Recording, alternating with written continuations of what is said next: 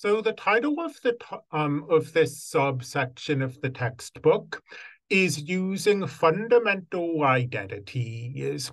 And we're not going to dwell too long on this section because a lot of this material is just a retread of stuff we've already done. What the textbook calls fundamental identities are really definitions. This is how the tangent, secant, cosecant, and cotangent were defined in terms of the sine and the cosine. So when you then look at example five, for example, this is stuff that we've already done. I mean, it's phrased a little weirdly, um, because it says, you know, given that the sine of 45 degrees is this and the cosine is that, evaluate the tangent. But, you know, we've done examples, find the tangent of 30 degrees using the fact that you know the sine of 30 and the cosine of 30. So this doesn't need to be dwelled on.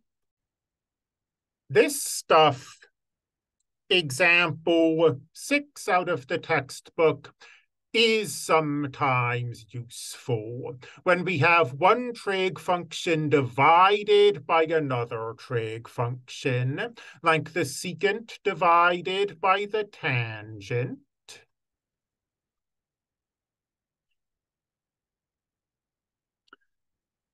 We can sometimes